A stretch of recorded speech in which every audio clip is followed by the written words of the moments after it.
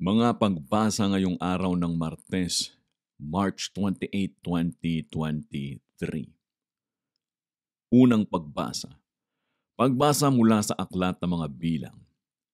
Noong mga araw na iyon, mula sa bundok ng Hor, nagpatuloy ang mga Israelita patungong dagat ng tambo upang lihisin ang Idom.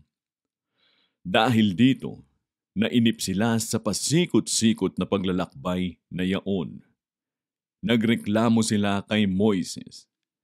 Inalis mo ba kami sa Ehipto para patayin sa ilang na ito? Wala kaming makain ni mainom. Sawa na kami sa walang kwentang pagkaing ito. Dahil dito, sila'y pinadalhan ng Panginoon ng makamandag na ahas at sino mang matuka nito ay namamatay. Kaya lumapit sila kay Moises. Sinabi nila, Nagkasala kami sa Panginoon at sa iyo. Idalangin mo sa kanyang paalisin ang mga ahas na ito. Dumalangin nga si Moises at ganito ang sagot sa kanya ng Panginoon. Kumawa ka ng isang ahas na tanso Ilagay mo iyon sa dulo ng isang tikin at sino mang natuklaw ng ahas na tumingin doon ay hindi mamamatay. Ganon nga ang ginawa ni Moises. Mula noon, lahat ng matuklaw ng ahas, ngunit tumingin sa ahas na tanso, ay hindi namamatay.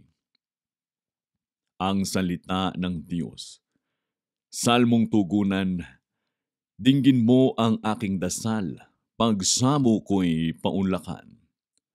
Dinggin mo, o puon, ang aking dalangin, lingapin mo ako sa aking pagdaing. O huwag ka sanang magkubli sa akin, lalo na sa panahong may dusa't hilahil. Pag ako'y tumawag, ako'y iyong dinggin. Sa sandaling iyo'y agad mong sagutin. Ang lahat ng bansa sa puon ay takot, maging mga hari sa buong sinakop.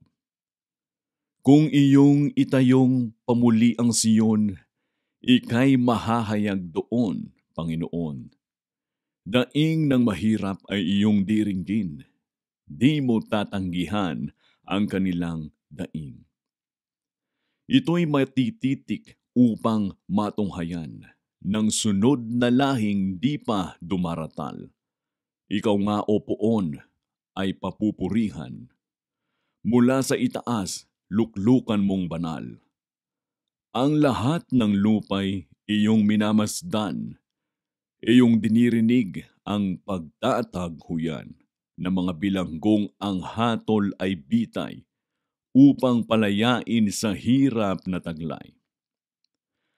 Ang butil na ipinunla ay ang banal na salita. Paghahasik ay ginawa ng puong gurong dakila upang tanay sumagana. Dinggin mo ang aking dasal, pagsamo ko'y paunlakan. Ang mabuting balita ng Panginoon ayon kay San Juan. Noong panahong iyon, Sinabi ni Jesus sa mga pariseyo, Ako'y yayaon, hahanapin ninyo ako, ngunit mamamatay kayo sa inyong mga kasalanan.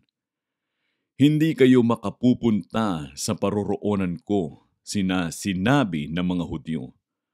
Magpapakamatay kaya siya, kaya, kaya niya sinasabing hindi kayo makapupunta sa paroroonan ko.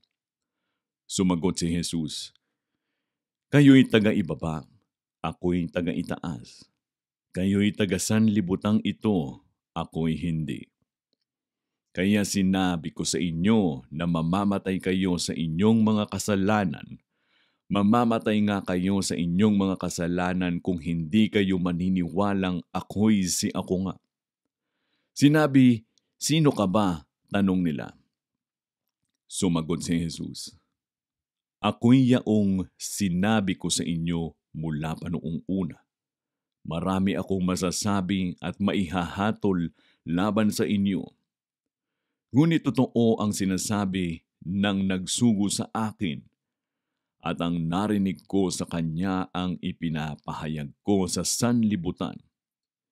Hindi nila naunawaan na siya'y nagsasalita tungkol sa Ama. Kaya't sinabi ni Jesus, Kapag naitaas na ninyo ang anak ng tao, malalaman ninyong ako'y si ako nga. Wala akong ginawa sa ganang sarili ko lamang. Nagsasalita ako ayon sa itinuturo sa akin ng Ama. At kasama ko ang nagsugo sa akin hindi niya ako iniiwan sapagkat lagi kong ginagawa ang nakalulugod sa Kanya. Marami sa nakarinig nito ang naniwala sa Kanya. Ang mabuting balita ng Panginoon. Pinupuri ka naming Panginoong Jesus. So sa atin pong pagninilay sa Ebanghelyong ito, kung babalikan natin ang unang pagbasa ang mga Israelita ay pinalaya mula sa pagkakaalipin doon sa Ehipto dahil hindi na matiis ng Diyos ang kanilang panaghoy, ang kanilang hinaing sa pagpapahirap ng Ehipto at ginamit ng Diyos si Moises. At nagpakita ng mga sunod-sunod na mga himala sa harapan ng mga Israelita. At gayon nga sila ay pinalaya. Sila din ay naglakad doon sa doon sa dagat na kung saan hinati ng Diyos ang tubig upang sila ay makapaglakad, tumawid doon sa karagatan at makatakas sa Ehipto. Gayon nga ang ginawa ng Diyos habang sila ay nandoon sa ilang sila kapag kagabi sila ay ginagabayan ng pillar of light upang sila ay hindi mamatay sa lamig upang makita nila ang kanilang dinaraanan.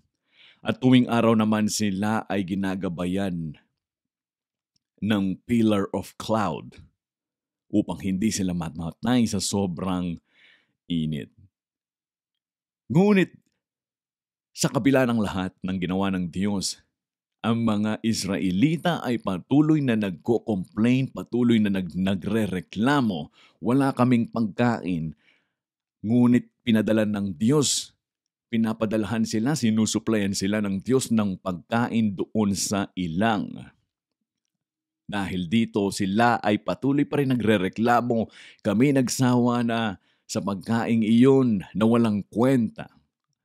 At dahil dito naggalit ang Diyos at nagpadala siya ng mga ahas, mga makamandag na ahas at kung sino man ang matuka ay namamatay. At kanilang napagtanto na sila ay nagkasala sa Diyos at naawa ang Diyos sa kanyang bayang Israel at inutusan niya si Moises, gumawa ka ng ahas na tanso at ilagay mo ito sa tikin. Ibig sabihin ng tikin isang pole So gayon nga ang ginawa ni Moises. Naglagay siya ng tansong ahas doon sa, sa isang pole at ito'y kanyang itinaas. At lahat ng matuklaw ng ahas at tumingin doon sa doon sa tansong ahas na nasa pole ay gumagaling.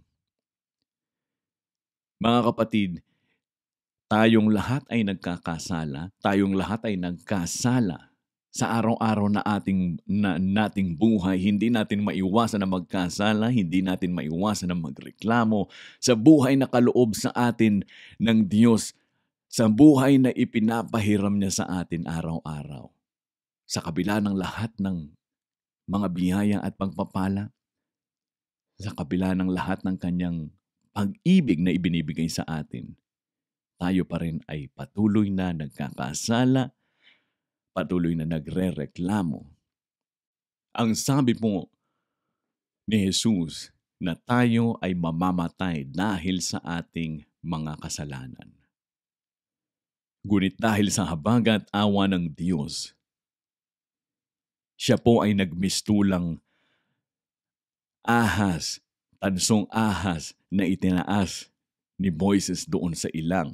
Nang siya po ay ipako sa krus at itaas doon sa krus na kung sino man ang tumingin doon sa krus ng Kalbaryo, tumanggap kay Jesus, siya po ay naliligtas. Siya po ay hindi namamatay. Siya po ay binigyan ng kapatawaran sa kasalanan at hindi na naparusahan o maparusahan ng kamatayan. Kaya patuloy po nating tignan, alalahanin ang ginawa ni Jesus doon sa krus ng Kalbaryo na dapat tayo ay mamatay sa ating kasalanan. Ngunit imbes siya po ay ibinigay niya ang kanyang sarili, sinakripisyo niya ang kanyang sarili, itinaas niya ang kanyang sarili doon sa krus ng Kalbaryo upang kung sino man ang tumingin, maniwala sa ating Panginoon, siya ay hindi mamamatay. Siya ay maliligtas. At kung sino man ang maniwala ay magkaroon ng buhay na walang hanggan. Maraming salamat mo at pangpalain tayo ng ating Panginoon.